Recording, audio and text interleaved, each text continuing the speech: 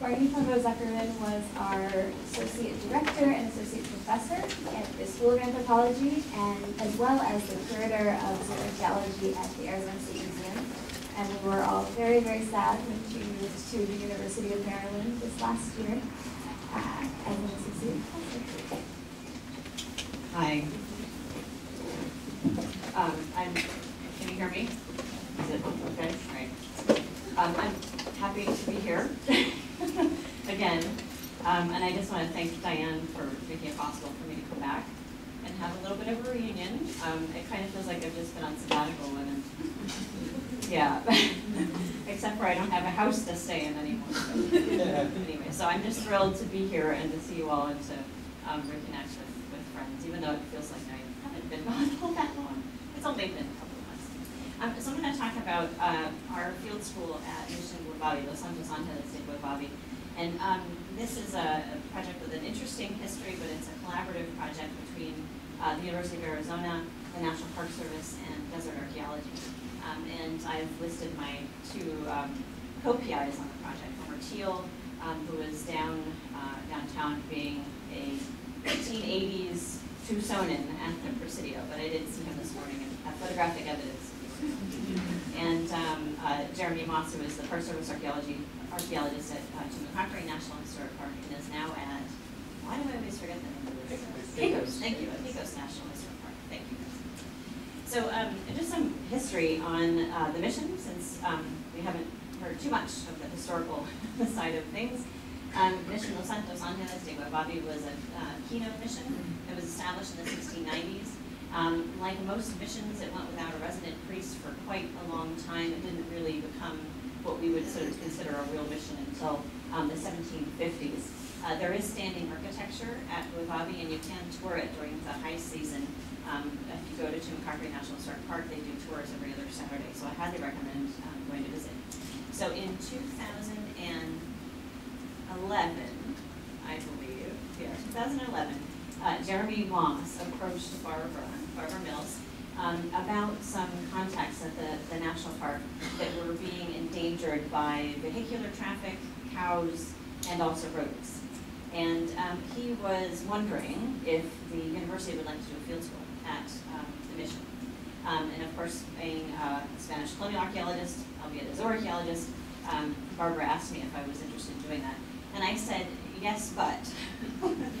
Yes, but I'm the associate director of the school, and I'm so I'm a zooarchaeologist. I don't usually run very large field programs like this. Um, I want to work with Homer, so if I can work with Homer, and Homer and I will teach this field school together, I'll do it. So Homer said, "Yep, let's find a way to make it work, find a way to pay him, and, and let's do it." So that's how we ended up with the three collaborators, and Jeremy Moss as well um, was there until he moved to. So you can see on the upper right, this is a pointer, um, upper left, sorry. Uh, this is an erosion gully that's um, getting inches closer every year to an adobe structure map that's behind it that we now know is, is mission period. Um, okay, so let me show you. Oh, yeah, so this is a picture of the co-project directors, um, Homer Thiel, me, formerly U of A, and, uh, and Jerry Moss. So some of the research themes that, um, that we were interested in as we went into this project, obviously we had this opportunity and it was a once in a lifetime opportunity to work on national park property, which um, really does not happen very often. Um, I'm really interested in the Native American experiences under colonialism, and so that was one of my um, areas of interest um, to work at Guevavi. Um, also, there hasn't been a lot of archaeology done at missions. A lot of the archaeology that has been done has been done by desert archaeology, and Homer was the one who was doing that work, which is why I wanted to work with him. Um, but when you look at most of the knowledge about the missions in this area, it's been kind of dominated by a mid-20th century um, approach, which was basically looking at these uh, missionaries as being run by these missionary heroes, these intrepid guys who would go out onto the frontier and to try to eke out a living and civilize the Indians, right? Which is, of course, a very biased and um, very uh, incorrect uh, look at the way the missions operated. So I really wanted to kind of bring mission scholarship into kind of a more contemporary understanding and also to place missions in a broader colonial context. So these were not isolated frontier outposts as they are traditionally depicted. They were tied economically to what else was going on in the region. I wanted to know what that was. Um, I'm a zooarchaeologist, so I'm really interested in the introduction of livestock and the exploitation of livestock products um, at Native American sites during the historic period. And so that was sort of the, the knowledge and the approach that I brought to this. And the other sort of practical side of it was to help the Park Service to better understand the full um, occupational history of the site. So we know that there were some prehistoric components, and we wanted to know a little bit more about that, ironically, since I'm a historical archaeologist. Um, and we also wanted to know what some of the other buildings were um, on the site that may or may not be mission period. So that was, those were our primary research goals for the project. So we did three field seasons at Mission and we just finished our final field season um, this year in the spring. And our field school was run a little bit like a hybrid between uh, the Northern Arizona Field Schools and the Southern Arizona Field Schools. Um, we did weekends, and then we had one big camping trip over spring break um, when we did our field work, and then during the, the uh, week at the University of Arizona, we had our field school course. So um, we had all of our students were from the University of Arizona. Um, we had mostly undergraduates, one graduate student who joined us. Um, and yeah, and my son uh, was also an honorary. and my mom actually took the pictures. Built in Nanny, who slept in a tent and took care of my seven, seven She's a rock star. Okay, some other key personnel that I need to introduce. Um, in, some of them are in the room. Um, we've got Nicole Mathwich in the back. Just wave. Hello. Um, uh, one of my teaching assistants for all three years, uh, volunteer or paid. Um, Leslie Aragon. And um, I don't think Matt is here. Matt Pailes? Okay. He's in Mexico. Good. so these are my three intrepid TAs or other graduate students that worked on the project, volunteered or were paid in various capacities, but they were the, the field TAs. And I need to introduce and um, acknowledge we had three site monitors from that were provided by the O'odham Nation, um, and I'll introduce them. Um, Jeffrey Francisco was with us for all three years. Uh, he was absolutely amazing and um, was never content to just monitor. He was always helping whatever needed to get done. He was always there. Uh, Lisa Palacios was a um, site monitor our first season in, in the um, in the field. The second season, she was finishing up her master's in American Indian Studies and asked if she could take the class as a field school student. So she was a student in our third year, or our second year, sorry. Third year, she was on maternity leave, but she then applied to the School of Anthropology for the PhD program, and she will be the first PhD archaeologist, Tohono O'odham archaeologist, when she graduates in a few years. So um, I'm really excited for her, and I hope to be on her committee from afar. and then Anthony Sweezy in the lower right, um, he uh, was with us for the first two years. In the first year, he basically took the, the field school with us. He, he kind of just said, I'm, you know, I'm just going to do it. And so he just was an archaeology student along with everybody else. And at the end of his first, the, the first season, he was hired by Desert Archaeology to be um, a field archaeologist. So anyways, it's been wonderful uh, relationships um, with the, the, monitors and now students and employees. Okay. So just some images from Camp Lake. Um, we spent eight days camping at the Santa Fe Ranch, and they were happy to welcome us. They're a um, outreach kind of organization. They do a lot of environmental education and sustainable education. So they were thrilled to have us come and camp with them. Um, and uh, yeah, a lot of a lot of crying and tears, but only from my children. And the occasional animal visitors. We did we did get visited by a mountain lion once or twice. Uh, so this is the map that was originally um, done by Desert Archaeology. They had done a, a, a free survey um, of both Guevavi and Calabasas, another mission as part of Tumacacori National Historic Park. So we're going to be updating this map now that we've done our work, but using what Homer um, and Mike Brack had um, surveyed um, back in 2011, we sort of targeted uh, a few areas that we were interested in, and also that the Park Service wanted us to work on. So first, let me point something out. This boundary here is actually the National Park Service property. The rest of it is owned by the city of Nogales or is on private land. And so we were working with different land jurisdictions. Um, it really got complicated at times, and I thank Bill for helping us work through some of those permissions and, and uh, hurdles. Um, so we were working just in one context on National Park Service property, and that was the middens being dug up by rodents, and so they were keen to have us come look at it. And then a couple of contexts on City of Nogales property. Um, these, um, I'll talk about, they were uh, seen by earlier archaeologists and, and, noted as being weird clearings with a funny colored soil. And so I'll talk a little bit about those. We looked at this adobe structure that's being run over. Um, and then we looked at a um, pit house area uh, that's all along this ranch road. And again, these things um, are continually being uh, run over by the border patrol and ranching trucks and archaeologists. Um, okay, so this is a, a couple of images of the Hohokam period. We got radiocarbon dates back on some of these features in May, but it was actually earlier than we thought. So they go back to about 8800 to 1100. Um, and of course, I'm not a Hohokam archaeologist, so I'm just going to gloss over things randomly. If you have questions, you can ask Homer. Um, uh, one thing I will say is this is a roasting pit and everybody looked at it and said, well, this is the most beautiful roasting pit I've ever seen. Mm-hmm. This was actually in the middle of the road, and you could see the rocks on top, and the cars were just driving right over this thing. Um, the uh, rancher who came out and saw this, and he said, oh my God, I've been running this over for 30 years. I know this So it's beautifully preserved. We actually suspected that was going to be mission period, but it's not. It's well come. Um, this is some interesting carved object, but we're not really sure what it is. Maybe fire starter, uh, maybe a pickup kit. There's many theories. We're not really sure. Um, but you could see in the road uh, at least seven or eight different Hohokam pit houses um, that were just dark stains. Homer unfortunately has X-ray vision, so you can see these things as we run along. Um, and we mainly stuck Leslie out in the road because it's really compacted, and um, she likes to hit things with um, her teaching. So that was. Thank you, Leslie. So um, what we learned from this is that this is uh, the largest known pit house village from this part of the Santa Cruz River Valley. So that's very, very exciting. We just don't have any um, evidence of these large house villages. And these seven or eight, actually it's more than that, that we identified are just in the road. So that doesn't count the things that are on either side of the road that we can't see because um, there's growth. Okay, so this is that mission era Adobe structure. I'm, I'm not shivering because I'm nervous, I'm freezing. Um, um, ironically, coming from Maryland, cold here. So I'll point out a few things here.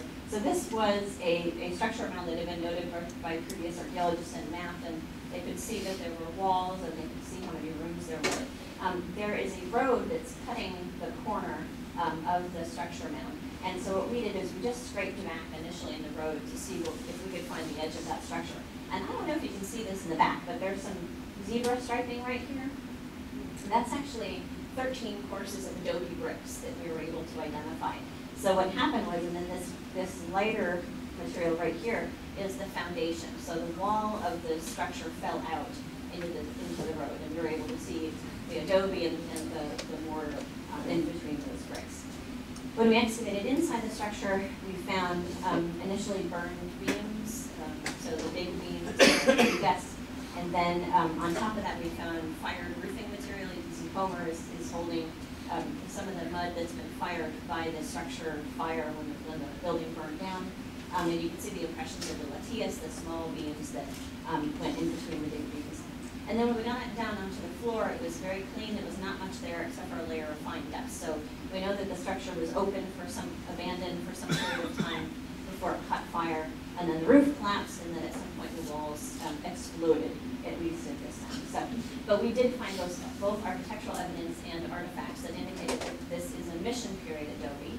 Um, we thought initially we were thinking, well, maybe this was an early church, um, but there's interior walls that you can see right here, and also a side entrance that would suggest that this was not a church. This was probably a residential dwelling. We found um, evidence for um, a corner hearth in one of the rooms, so this was probably some sort of dwelling, but we don't know who lived there. So in our first season, we were able to work in the mission midden. So this is where the mission was storing most of their trash. Um, and this is on National Park Service property. And you can see one of our really terrible looking two by two units right here. And the reason why that thing looks more like a trapezoid, right? Trapezoid? yeah, trapezoid. Um, is because it was on a one heck of a slope like this. And it was really hard to maintain straight walls. I think we lost about a half a meter by the time we got down to the bottom of it. Anyways, so I'll show you a few things that we found um, in the midden, but first I'm going to point out a couple of things that we didn't actually find, but I have on the slide anyways. Um, this is a lead um, cross, a handmade cross, and we found this actually one of the other features, but I put it in here because I had lots of pictures. anyway, so a handmade locally made lead cross, of course, this suggests, well, this is mission period. Um, and this is uh, a fragment of Chinese porcelain that was um, found in the 1960s excavation um, that were led by Bill Robinson and um, Bunny Fontana. Okay, so some of the things that we found at the, the Midden were sort of evidence of the global connections of or the global connectivity um, of the Spanish colonial missions during this time period. Um, the thing that got Jeremy to jump up and down was the peach pit, the Charles peach pit. Peach pit. Um, they'd been reconstructing the orchard at Tumacacori, and so this was direct evidence that there was probably an orchard um, at Guevavi as well. Um, we found uh, Atam ceramics. Um, this is uh, a projectile point, I think, for hunting hummingbirds. Um. That's a Sobaipuri point. I've just never seen anything that small in my life. Um, and then here's a fragment of Chinese porcelain. Uh, my mother is actually holding it to recognize that hand. Uh, this is a, a, glass bead from either Czechoslovakia um, or possibly Venice. This is a fragment of Spanish olive jar that would have been used to ship olives or olive oil. Um, and then uh, local uh, maize uh, cobs uh, that were charred in, in the, um, oh, and then Mexican oil. So what's, um, what I usually, when I give tours, I would ask, does anybody know how Chinese porcelain got to southern Arizona in 1750? Other than Jeff, because I know he knows. Um, okay, so I'll explain. In, in, the, in the 18th century, the Philippines was a Spanish colony. And so Spanish galleons would land at the Philippines. And the Philippines already had a, a long trade history with China. And so the Spanish galleons would land in Manila and they would load up on Chinese porcelain and they would ship that to the coast of Mexico. The Chinese porcelain would be loaded onto mule trains, be shipped to Mexico City, and then loaded on another mule train to come all the way to southern Arizona in 1750, so the priest could drink his tea, I suppose, out of Chinese porcelain, so that he could have China here in southern Arizona in 1750. And that's a good indication of what material culture meant um, for these gentlemen, who were usually the second born or later sons of wealthy families in Europe. So it was very important for them to have the trappings of elite status, even though they felt they were sort of living um, eking out this living on the frontier and dying of malaria and whatever else. Anyway, so that is to me kind of fascinating. So we think about Chinese exports as being a recent thing. Um, nope, it goes back to 1750. okay. Um, so in 2013, um, we had the, uh, we have one of the opportunities of working with Desert Archaeology is you get access to their staff and their technology and their incredible knowledge. So uh, Mike Brack from Desert Archaeology came out with, um, well, let's just say he did some above ground photography. They not have been, well, I'm not going to get into that. Anyways, so there were some photographs taken from very tall heights that did not go on federal property. Um, uh, so we found, uh, when we got these photographs back at the end of the field season, so too late to do anything about it, were these curious um, alignments, and I'm not sure if you can see them, and if I can even make them out from where I am, but do you see a line here, a line here?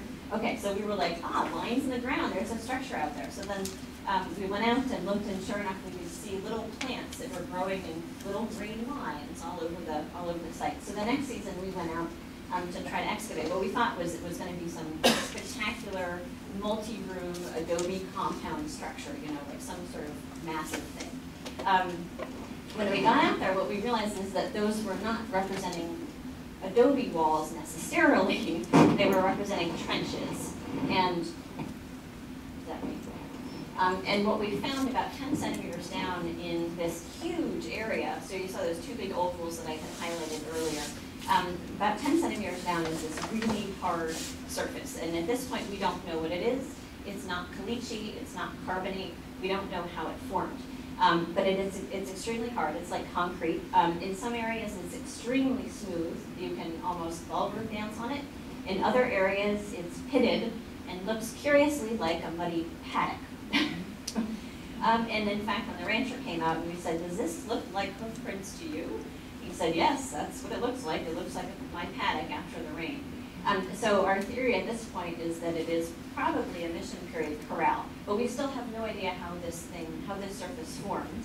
Um, we also don't know, there's trenches that are cut through, you can see remodeling. Um, they probably put, there's burned posts Um, this is Lisa sitting with that gigantic burn post. Um, so we know that these were wall trenches. Um, and I'll show you in, in a sec some contemporary examples of, of these types of structures, but we can't really figure out at this point what all we have. There's, there's some individual post holes that are maybe dug through this stuff, but probably were there and then the surface formed around it. Um, so we're still trying to figure out what this is. We have some thin sections that we've sent off to Susan Mentzer, one of the School of Anthropology's PhDs, um, former PhDs, uh, to take a look at for us and see if she can figure out what the heck this stuff is. Vance came out, where's Vance? Holliday, he was here. Um, he came out to help us do it, and we were all puzzled. We even did an acid test. Okay, so this is an overview of what we are now interpreting as a, um, a mission era livestock corral. Um, we, this is mission period because we know from the artifacts, we found the cross, we found um, uh, cattle bone, sheep bone, fox, um, and then also artifacts of um, uh, uh, ceramics as well, and then lithics. So we know that this is firmly a mission period feature, and we're still trying to figure out um, exactly what this is, and I'm not sure that we'll be able to map out ramadas or sort of any structures that were part of, of this corral feature. Uh, but this is actually at Santa Fe Ranch, this wall right here, and so we think this is probably a reasonable model for what the um, the, the walls would have looked like for the corral during the mission period. Um, so uh, we've been working with Doug Gann a little bit, and he might help us to do a little reconstruction of what this thing may, might have looked like. But again, we think this may have been a muddy corral that somehow got frozen in time, but we don't know the sort of chemical mechanisms for how that might have happened.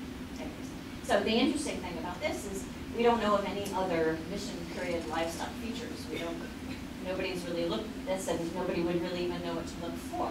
And so now at least we have a model to know what we should be looking for to look for some of these mission outbuildings. There's been a lot of focus on the mission architecture, usually the church, um, but really not as much about the mission landscape. So that's sort of an interesting um, contribution of the project that um, will hopefully help scholarship moving forward.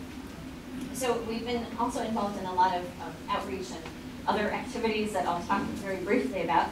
Um, the National Park Service Home Office, through the Latino Initiative, funded two of our field seasons, helped with our field work um, as we ran a parallel program that was coordinated by uh, the Environmental Education Exchange, which is a nonprofit here in Tucson, to bring Latino high school students and teachers to the field with us at Guevavi for not too long, but a day or two. And then they ran um, an extended program for these high school students and teachers on archaeology and Latino heritage um, in uh, Tucson. And some of those high school students are now um, undergraduates at the University of Arizona and even visited the anthropology table um, at the career or the majors, the junior majors day, as Nicole told me yesterday. So um, we're hopefully recruiting some more archaeologists um, into the full students program as well. Um, and here they are at the screens, um, and that was really a lot of fun to work with, with those guys. We also have been working with um, another high school teacher, Alex Ruff. He's a, a biology forensics and coach at uh, Marana High School, and we got a grant through the Research Corporation for Science Advancement to have Alex work with us for several summers to do research. And this is basically to sort of um, bring science into the classroom and for him to translate what he's been doing on campus into educational opportunities for his students. And so Alex has been working with Nicole on a stable isotope project. So Nicole's um, a zooarchaeologist and is looking at um, the uh, role of livestock at, at. And so we're trying to see if maybe we can track the seasonal movements of livestock as well as foddering and free ranging and watering practices. So Nicole has been working with Alex on that project as well. And we also do many, many, many, many tours. That's um, sort of the, the job of the field school director, right? As we all know, is to do the tours. So um, that's me and a couple of students giving a tour to a group of fifth graders.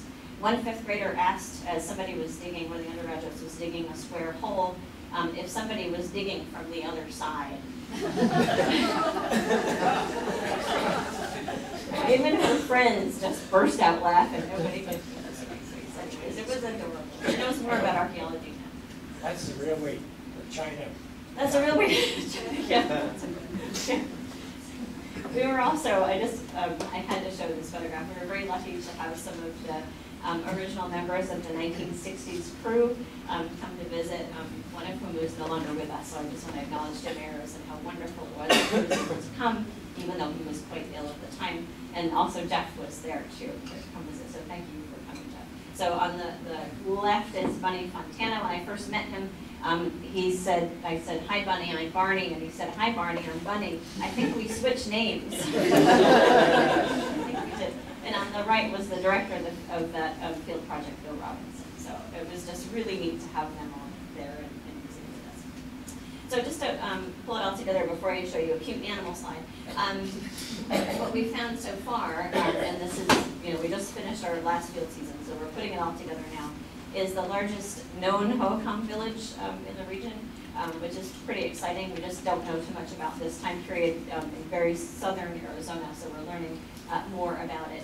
Um, and also we see that the missions participated in this global economy. So really the, the origins of the modern kind of world economic system that we're living in, you can trace back even earlier, but in southern Arizona back to 1750, right, in the desert. They had stuff coming from all over the world. This was a, a double transoceanic trade, trans-Pacific and transatlantic trade, that was all coming to southern Arizona. This was um, a, certainly not the frontier for the O'odham and um, you know, it's debatable. and this was really connected to, to a global economy. Um, and of course, this was all driven by O'odham labor, all driven by ancestral O'odham labor. Um, and as a zoarchaeologist, I would say that a lot of this was based on, as we know from the animal evidence, on animal products like, like tallow and hide. Um, so there's a lot of stories to be told um, in the bones especially. Okay, so I, here's your obligatory cute animal slide. We had the, the honor of seeing many animals born, uh, not my son, but goats and calves. And we also rescued this dog. Um, this is Homer in the back of my stepdad's car. We found a, a near-death dog at the site. Actually, Mike Brack found the dog, and we managed to get it to somebody who brought it to a vet, and the dog, much to our surprise, survived and is now living a wonderful, um, I guess, retirement. I don't know. Depends on how old he was, in Maine, so the dog is doing just fine. Anyways, and then uh, baby goats and uh, baby hominids. um, I have a, many, many, many people to thank, and I won't read the whole thing off. Um, but yes, this is uh, one of those projects that we, I think there's probably very few people in this room that didn't contribute in one way or another. Um, and I especially want to acknowledge Bill and congratulate you on the award. Um, and then also introduce him since he's our, our next speaker. So um, Bill Doelle is the president of Archaeology Southwest and the CEO of Desert Archaeology Incorporated and has been a long time, all right, okay. and has been a long-time collaborator with the School of Anthropology, so I'm very pleased to be the one who gets to introduce him. Thank you.